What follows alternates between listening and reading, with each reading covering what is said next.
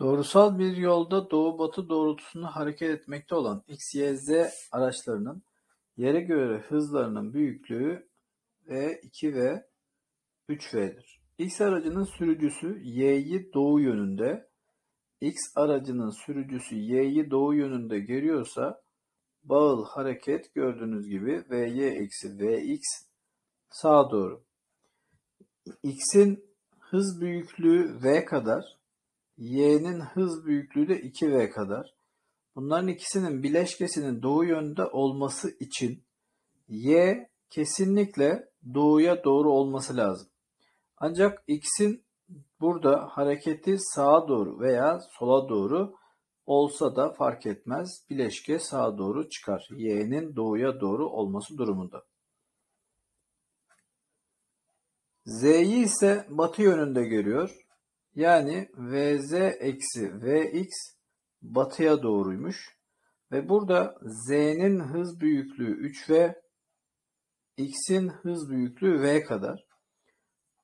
Z'nin yönü burada batıya doğru olursa X doğuya doğru da olsa batıya doğru da olsa bileşkesi batıya doğru çıkacaktır. Dolayısıyla burada kesinlikle doğu yönünde olan sadece Y'dir. Cevap B seçeneği. X, Y, Z cisimleri şekilde konulan serbest bırakılıyor.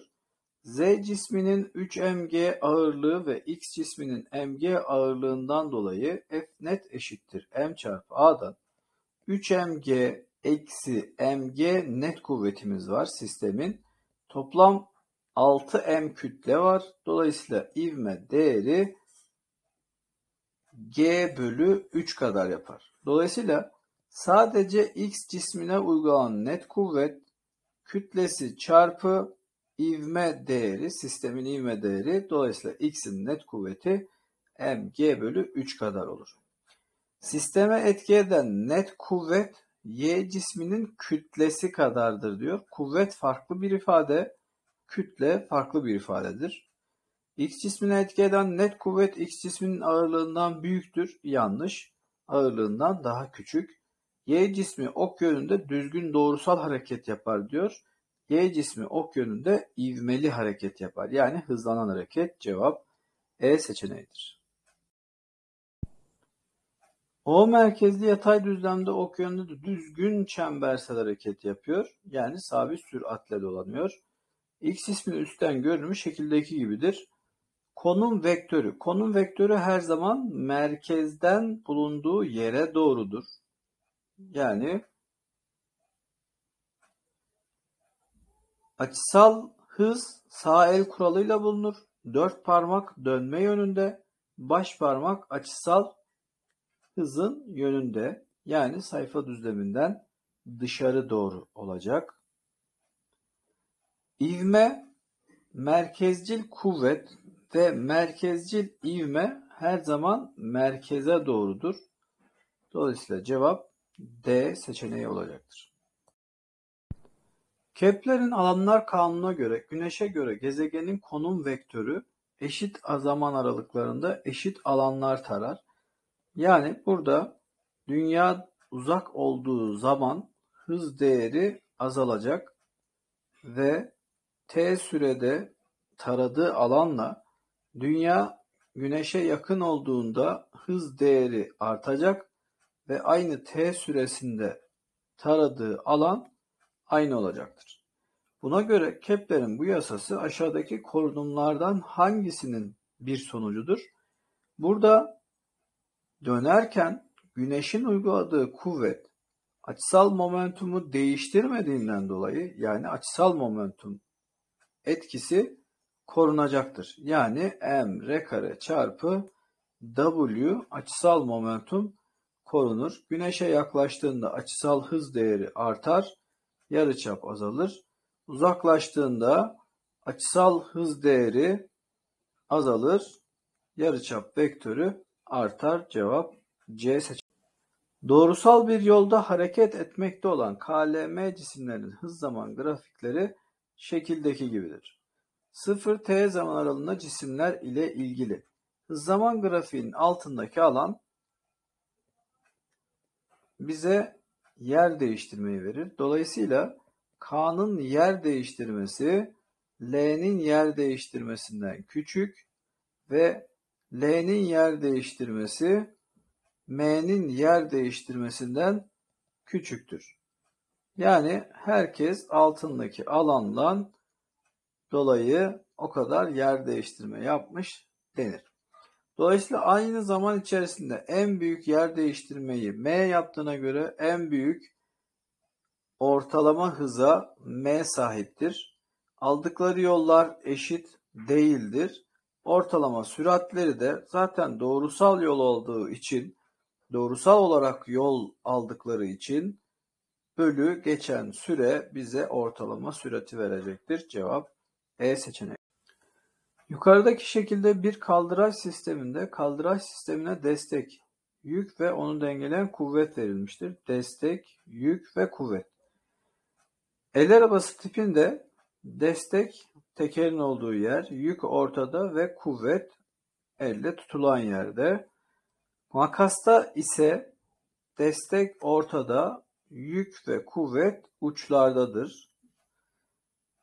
Gazoz kapağı açacağında ise şu şekilde takılır. Şöyle. Burası destek, burası yük ve burası kuvvet olacak şekilde yapılırsa gazoz kapağı açacağı da olur. Cevap D seçeneğidir. Elektromanyetik dalgalar boşlukta ışık hızıyla ilerleyen yüklerin ivmeli hareketiyle oluşan enine dalgalardır. Buna göre hangileri doğrudur? Elektromanyetik dalgaların titreşim doğrultusu yayılma doğrultusuna diktir. Enine dalgalarda titreşim doğrultusu yayılma doğrultusuna dik olur. Yüksek gerilim altında hızlandırılan bir elektron elektromanyetik dalga yayabilir hızlandırılan yani ivmeli hareket yapılan sistemlerde elektromanyetik dalga yayılır. Elektromanyetik dalgalar elektrik alan ve manyetik alandan etkilenmezler. Örneğin ışık elektrik alanda veya manyetik alanda etkilenmez. Cevap E seçeneğidir. Şekildeki gibi bir iple bağlanmış M kütleli tahta takoza M kütleli bir cisim atıldığında cisim takoza saplanarak basit harmonik hareket yaptırıyor. Burada M kütleli cisim büyük M kütleli cisme çarpınca ortak bir hızla belli yüksekliğe giderek geri gelecek. Buradaki basit sarkaçta T eşittir 2 pi L bölü G'dir. Yani ipin uzunluğu G yer çekimi önemlidir. Buradaki kütlenin büyüklüğüyle ya da alfa açısının büyüklüğüyle alakalı bir periyot yoktur. Dolayısıyla cevap 2 ve 3 E seçeneğidir. Özdeş ışık kaynağı ile farklı XY metallerine gönderilen fotoelektrik deneyinde XY metallerinden sökülen fotoelektronların maksimum kinetik enerjileri ve yüzeye düşülen ışığın frekansına bağlı değişim grafiği şekildeki gibidir. Burada Y'yi daha zor koparmışız. Demek ki Y'nin bağlanma enerjisi X'in bağlanma enerjisinden daha büyüktür. Buradaki kinetik enerji ve frekans arasındaki eğim tanjant açı değeri h Planck sabitine eşittir. Dolayısıyla alfa ve beta açıları birbirine eşit olacaktır. X metalin eşik enerjisi Y metalin eşik enerjisinden küçüktür. Y metalinden sökülen elektronların kinetik enerjisi X metalinden sökülen elektronların kinetik enerjisinden küçük olacaktır. Çünkü gelen fotonun enerjisi sabit, ikisine de aynı ve Y'nin bağlanma enerjisi büyük olduğu için kopan elektronların kinetik enerjisi Y'de daha küçüktür. Cevap C seçeneğidir. Bohr atom modeline göre temel halde bulunan bir atom uyarılarak elektron bir üst enerji seviyesine çıkabilir. Buna elektrona ilgili dolanma yarıçapı artar. Yani merkezde olan bir elektron temel haldeki elektronu bir enerji seviyesine çıkarmış oluyor. Dolayısıyla yarıçapı artıyor. Çizgisel momentum yani temel haldeki hızı bir üst enerji seviyesine çıktığında azalır. Dolayısıyla çizgisel momentum azalır. Kinetik enerjisi bir üst enerji seviyesine çıktığında hızı azaldığı için kinetik enerji değeri de azalacaktır. Cevap C seçeneğidir. Artı Q ile eksi Q aralarında D kadar mesafe varken D mesafesinin tam ortasında potansiyeli nasıldır diyor. V eşittir K Q bölü D bölü 2 artı K eksi Q bölü skaler olduğu için koyduğumuzda 0 elde ederiz. Tam orta noktasındaki elektrik alan sıfırdır diyor. X'in elektrik alanı sağa doğru. Y'nin elektrik alanı eksi olduğu için onunki de sağa doğru olduğundan dolayı bu iki vektörün bileşkesi sıfır değildir. Ve X ve Y'nin potansiyel enerjisi K, Q, eksi Q bölü D kadardır. Burada D mesafesi azaltılırsa enerji de azalır. Örneğin eksi 2 mi daha büyüktür yoksa D mesafesi daha küçük olursa oluşacak değer eksi 4 olacak. Yani enerji değeri azalır. Cevap 1 ve 3 E seçeneği. Manyetik rezonans cihazında yukarıdaki niceliklerden hangileri kullanılır? X ışınları kullanılmaz. Düşük frekanslı elektromanyetik dalgalar yani radyo dalgaları kullanılır ve manyetik alan kullanılır. Cevap A seçeneği. Mıknatıs bobin ve lamba ile oluşturulan düzenek şekildeki gibi veriliyor. Bobin ve mıknatıs sırasıyla V1, V2, bobin ve mıknatıs sırasıyla V1, V2 hızlarıyla hareket ettiriliyor. Ve lamba ışık veriyor eşit hızlarda ve lamba ışık veriyorsa burada ikisi farklı doğrultular, farklı yönlerde hareket etmişlerse dolayısıyla lamba ışık verebilir. Veya bu şekilde birbirlerine doğru veya zıt yönlü hareket ederse ışık verebilir. Eğer lamba ve aynı yönde hareket ederse veya birbirlerine doğru hareket ederlerse ikinci durumda da ışık verebilir. Üçüncü durumda yine aynı şekilde birbirlerine doğru hareket ederlerse yine ışık yanabilir. Doğru cevap E seçeneğidir. K'lanmasıyla L kondansatörünü bir akım kaynağına şekildeki gibi bağladığında lambanın sürekli olarak ışık vermediği gözleniyor. Buradaki doğru akım kaynağı yerine alternatif akım kaynağı bağlanırsa dolayısıyla kondansatör tamamen dolup durma gibi bir durum söz konusu olmaz. Alternatif akımda akımın sürekli yönü değiştiği için kondansatörde devamlı dolar boşalır ve bu arada K lambası yanar. Kondansatör yerine bobin bağlanırsa kondansatör yerine bir bobin bağlandığında akımın geçişine engel olmadığı için lamba sürekli yanabilir. Akım kaynağını değiştirmeden lamba ve kondansatör birbirine paralel olarak bağlanırsa dolayısıyla lamba üzerinden devamlı akım geçebileceği için lamba yanacaktır. Cevap E seçeneğidir.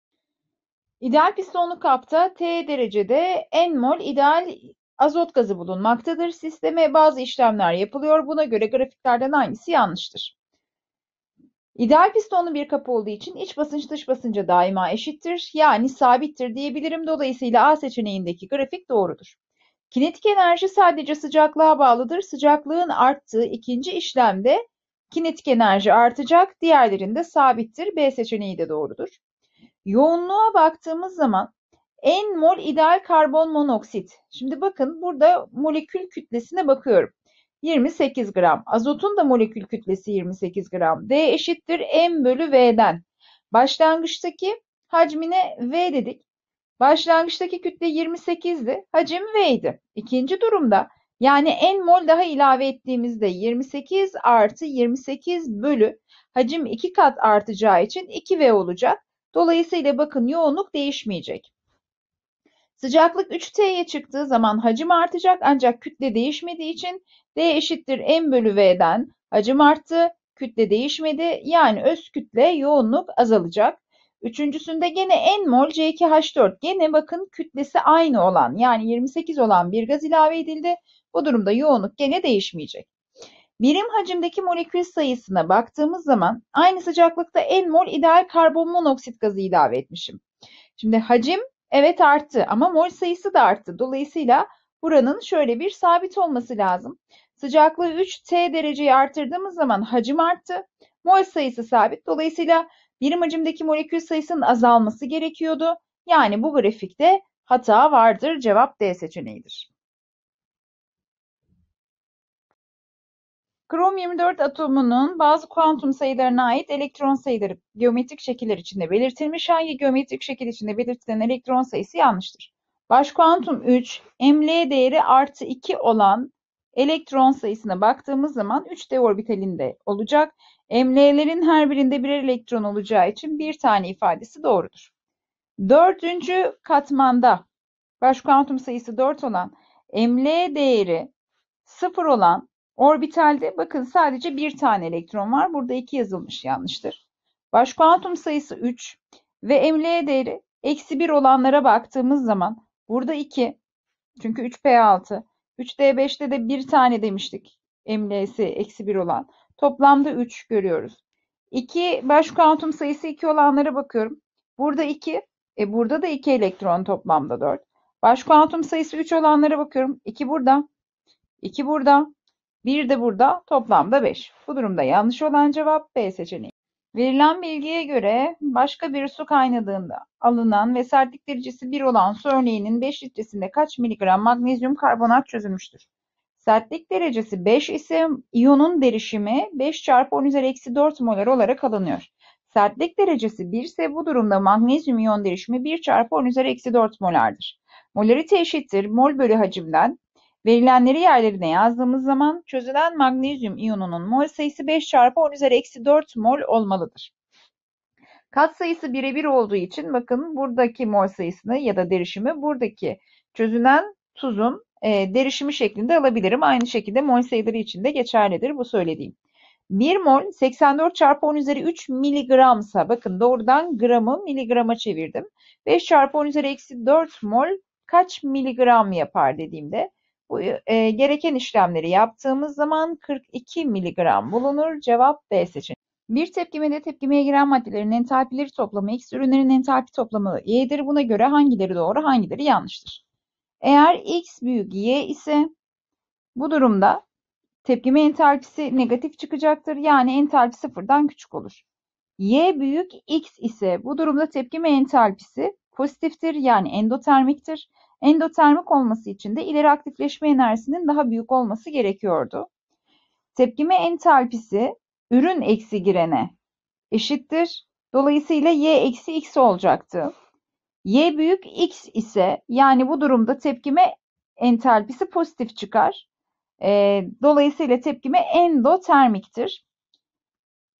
Endotermik tepkimelerde ürünler e, yüksek sıcaklıkta ürünler daha kararlı olur. Bu ifade doğrudur.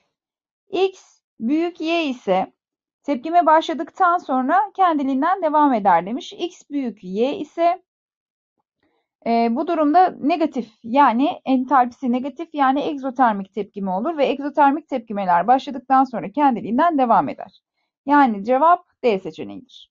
Tek basamakta gerçekleşen tepkimeye ait sabit sıcaklıkta yapılan deney sonuçları verilmiş. Tepkimeye ait hız sabitinin sayısal değeri kaçtır? Tek basamakta gerçekleştiği için öncelikle hız bağıntısını yaptık. Giren maddelerin derişimleri çarpımı eğer önünde katsayı varsa üst olarak yazdık. Buna göre deneyleri karşılaştırarak A ve B sayılarını bulmayı hedefliyoruz. Birinci ve ikinci deneylerin hızlarını oranladığımda 1 bölü 3 olacak. K'lar birbirlerini götürüp A'lar bakın oranladığımda 1'in karesi şeklinde işlem yaparım. B'leri oranlarsam B bölü B artı 0.4 olur. Şurası zaten gitti. İçler dışlar çarpımı yaparsam 3B eşittir B artı 0.4. 2B eşittir 0.4. Bu durumda B eşittir 0.2 olarak bulurum. Aynı işlemi diğerleri için yapacağım. Ee, mesela 1 ile 3'ü oranlayalım. A bölü A artı 0,1'in karesi diyorum. Çarpı oksijenler 0,2 bölü 0,4 diyorum. Eşittir hızları oranı 1 bölü 8'miş. Şurası zaten 1 bölü 2 yaptı. 2 ile de 8'i sadeleştirdim 4. Her iki tarafın karekökünü aldım. A bölü A artı 0,1 eşittir 1 bölü 2 yaptı. İçler dışlar çarpımı yapıyorum. 2A eşittir A artı 0,1. Karşı tarafa attığımda A eşittir 0,1 molar olarak bulundu. E, yerlerine yazdığımda birinci deneyde yerine yazarak K sabitini buluyorum. Hız 10 üzeri eksi 4'tü. Eşittir K çarpı NO yani A'nın derişiminin karesi 0,1'in karesi çarpı oksijen 0,2. Burası 10 üzeri eksi 2 yaptı. 2 çarpı 10 üzeri eksi 1 burası yaptı. K çarpı eşittir 10 üzeri eksi 4 dedik. Şu 10 üzeri eksi 1, 10 üzeri eksi 2 ve 10 üzeri eksi 4'ü sadeleştirdim. 10 üzeri eksi 1 yaptı. K eşittir 10 üzeri eksi 1 bölü 2'den 5 çarpı 10 üzeri eksi 2 yani cevap B seçeneği bulun. Verilen bilgiye göre başlangıçta suya eklenen kurşun klorür katısının kütlesi kaç gramdır? Öncelikle kurşun klorün iyonlaşma denklemini yazdık. Çözünürlüğüne A molar dersem kurşun iyonu A molar ve klor iyonu 2 A molar olur. Çözünürlük çarpımı A çarpı 2A'nın karesi çünkü önündeki iki sayısı üst olarak gelecektir. 2A kareye eşit olur. Yani buradan KÇÇ soruda bize verilmiş 32 çarpı 10 üzeri eksi 6 olarak aldım. Eşittir 4 A küp. Buradan işlemi yaptığımda çözünürlük 2 çarpı 10 üzeri eksi 2 molar olarak bulduk. Molarite eşittir mol bölü hacimden. Bana toplam hacim 5 litre olduğu söylenmişti. Buradan mol sayısı 0.1 mol olarak bulundu. Hemen bunun kütlesini bulduğumda 1 mol 278 gram 0,1 molü de 27,8 gram olur. Ancak dipte de bakın e, dibe çöken bir katı var. Yani bunu da toplarsam başlangıçta eklenen miktarı bulurum. Bu da 36 gram yapacak. Cevap D seçeneği. Öğretmeni İpek'ten defterine oda koşullarında bulunan formik asit çözeltisine ait 5 tane özellik yazmasını istemiş. Buna göre yazdığı özelliklerden hangisi çözeltiye ait değildir? Formik asit bir asit türüdür, zayıf asittir. E, zayıf da olsa gene de asit olduğu için pH pOH'tan daha küçük. Diyelim ki arkadaşlar pH'ımız 6 olsun. E, bu durumda pOH 8 olacağı için bakın gene de daha küçüktür. Aynı şekilde pOH eğer 8 ise hidroksit iyon derişimi 10 üzeri eksi 8 olacağından 10 üzeri eksi 7 molardan daha küçük olur. Aynı şekilde bakın bulduğum değerleri sadece bunlar varsayım. 8 bölü 6'dan yine birden büyük olur, doğru olur. Hidrojen iyon derişimi asitik olduğu için tabii ki 10 üzeri eksi 7 molardan daha büyük olur. Ancak pOH 7'den küçük olamaz. Dolayısıyla yanlış olan cevap E seçeneği.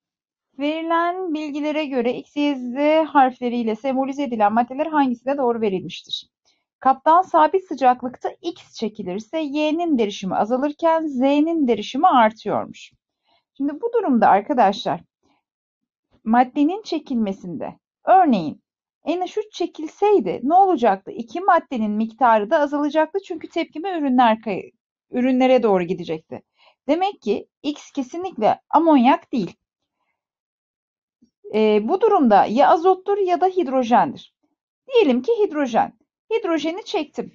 E, bu durumda ne olacak? Tepkime girenlere doğru kayacak. Yani amonyağın miktarı azalırken azotun miktarı artacak. O zaman hangi maddenin X olduğunu bilmiyorum. Ama azalan miktar neyse o kesinlikle amonyaktır. Çünkü aynı şey azotu ortamdan çekersem yine tepkime girenlere kayacak. Yine amonyağın miktarı azalacak. Yani azalan madde Y kesinlikle amonyaktır. Diğerlerini eleyebilirim. Kaba sabit sıcaklıkta Y eklenirse yani amonyak ilave edersem bu durumda X'in derişimindeki artış Z'den daha fazla oluyor diyor. E bu durumda katsayıya bağlı tabii ki bunlar. Katsayısı büyük olan daha fazla artış yapar. E, demek ki X'in derişimindeki artış daha fazla diyorsa hidrojen X'tir. E, azot da bu durumda Z olacaktır. Yani cevap A seçeneğidir. Verilen moleküllere ait aşağıdaki özelliklerden hangisi doğrudur? Amonyak için bağ açısı 107.3, 107 alabiliriz. Su için 104,5 olmalıydı. CH4 için ise 109,5 olmalıydı. Burada hata var. Whisper gösterimlerine baktığımız zaman merkez atoma, merkez atoma bağlı 3 grup var ve bir çifte ortaklanmamış elektron olduğu için Whisper gösterimi hatalı. Molekülün polarlığı amonyak polar, su polar, metansa apolardır. Doğru cevaptır. Molekül şekli düzlem üçgen değildir, üçgen piramittir. Hatalı. Merkez atomun hibritleşme türü sp2 değil sp3 olmalıydı amonyak için. Burada da hata var. Gene su için sp3 olmalıydı. Bu durumda doğru olan cevap C seçeneğidir. Yukarıdaki elektrokimyasal pil sistemi ile ilgili hangisi doğrudur? Pile baktığımız zaman alüminyum ve hidrojen klorür arasında gerçekleşeceği için bakırın indirgenme yarı pil potansiyelini önemsemezsem de olur. Yarı pil tepkimeleri indirgenme yarı pil tepkimesi şeklinde verilmiş.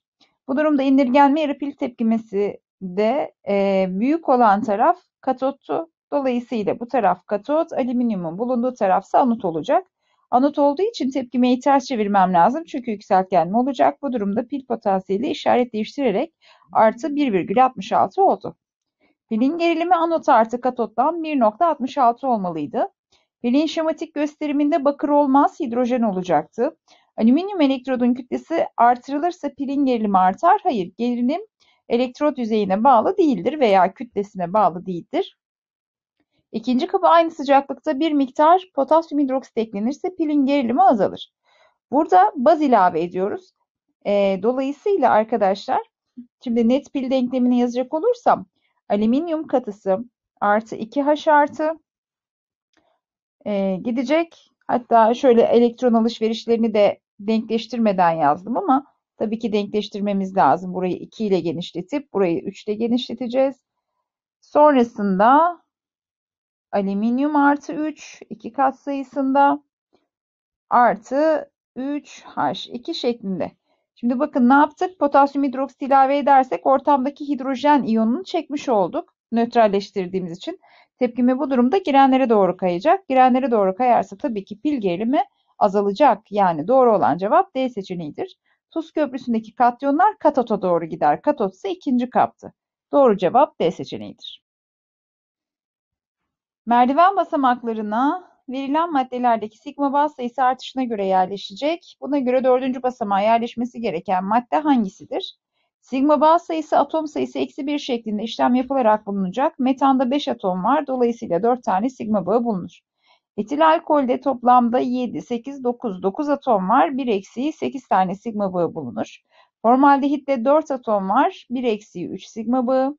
Asetonda 10 tane atom var. 1 eksiği 9 sigma bağı. Ve etilende bu durumda 6 atom var ve 5 tane sigma bağı bulunacak. Sıralayacak olursak buraya o zaman metan gelecek. Hayır, önce formaldehit gelecek. Daha küçük olan formaldehit, metan, üçüncü basamakta etilen, sonra etil alkol ve aseton şeklinde. Bu durumda cevabımız B. Verilen bilgiye göre canın su molekülüne yazdığı kağıt hangi renktir? Buna göre arkadaşlar bakalım ortaklanmamış elektron çifti sayısı 2 olan anorganik maddeyi mavi kağıda yazmamıştır. Yani su mavi de değilmiş. Ortaklanmamış elektron çifti içermeyen organik madde hangisidir bu? CH4'tür. Molekül şekli üçgen piramit olan maddeden sonraki kağıda yazmıştır. Yani amonyum, amonyaktan sonra metan gelmiş. Merkez atomu sp2 hibritleşmişsi yapmış organik maddeyi sondan ikinci kağıda yazmıştır. sp2 hibritleşmesi. Demek ki e, buradaki maddeyi yani aldehiti e, sondan ikinci. Demek ki burası şöyle yapıyı da çizecek olursak bu maddeyi yerleştirdim. Merkez atom hibritleşmesinde S karakteri %50 olan yani burası %50'dir. E çünkü SP hibritleşmesi yapmıştır. İlk 3 kağıda yazmamıştır diyor. Demek ki burada BH2 var. Sonra su burada değildi zaten.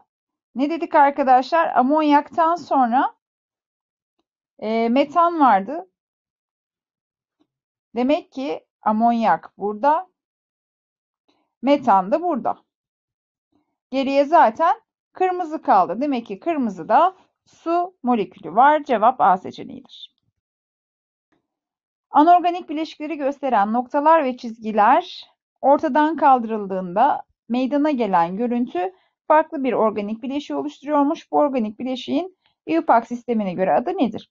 Öncelikle anorganik bileşikleri belirleyelim. H2CO3, karbonik asit, peroksit, karbondioksit, su ve karbon monoksit bakın e, anorganik maddelerdir. Bunları ortadan ve şu bağlantılarını ortadan kaldırdığımızda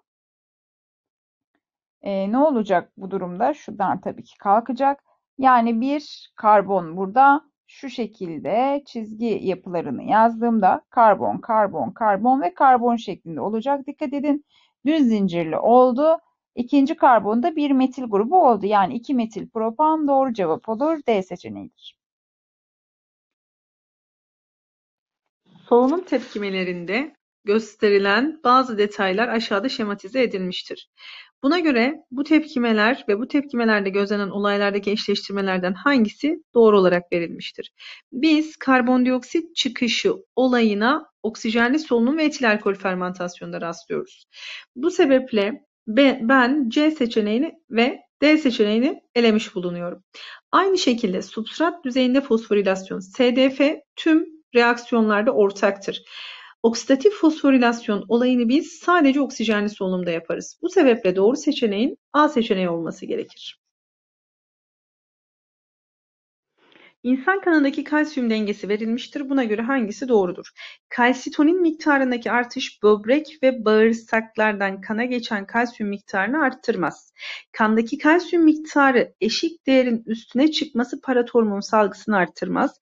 Kalsitonin ve paratormon birbirlerine antagonistik zıt çalışan hormonlardır. Bu sebeple doğru seçeneğimizin B seçeneği olması Fotosentez olayıyla ilgili hangisi doğrudur?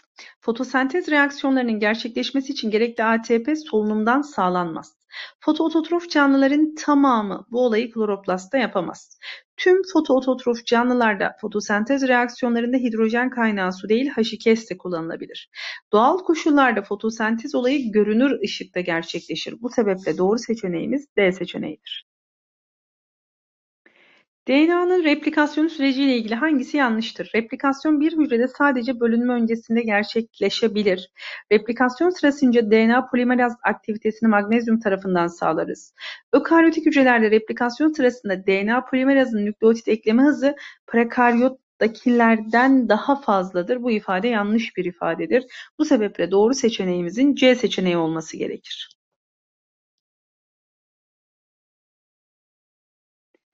Eşeğli bitkilerde, çiçekli bitkilerde eşeğli üreme süresince olayların gerçekleşme sırası nasıl olur? Önce polen ve embriyo kesesinin oluşması gerekir. Daha sonra çiçekte tozlaşma olayı gerçekleşir.